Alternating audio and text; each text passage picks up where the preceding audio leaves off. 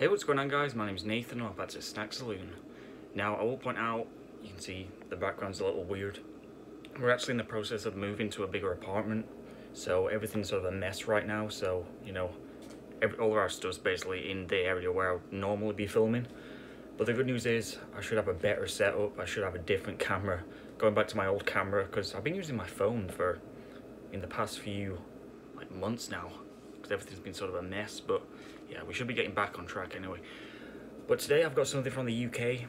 My grandma, as she always does on Christmas, sent me a box of things from the UK. And these are all mainly Christmas things. I'm going to be doing a few videos leading up to Christmas.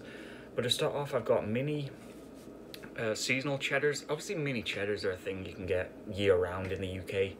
They're just basically little, I guess you'd call them crackers but they're obviously cheese flavored. But these obviously have Christmas packaging, and these containers are the kind of thing you would, you would have at Christmas as well. If we get these open, they smell really strong of cheese, I will say.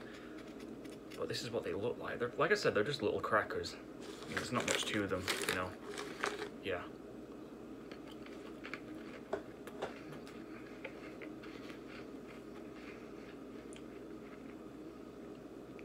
They're definitely the same as I remember them. Really strong in terms of the flavor. And obviously if you like crackers or even chips, I mean, you could kind of compare them to chips or crisps in the UK. But yeah, there's nothing bad I can say about them. Obviously if you don't like cheese things, you're not going to like these. I should point out as well, these are made by Jacobs, which they make famously the crackers, the cream crackers over there. But yeah, not had these in years because obviously I've been living in the US for like nearly seven years now, so you don't get these over here, so I'm glad to finally be able to try them again. So yeah, big thumbs up from me in terms of those. So like I said, I do have a few other things, so we're doing those in upcoming videos, so look out for those. Please remember to rate, comment, subscribe. Until next time, see ya.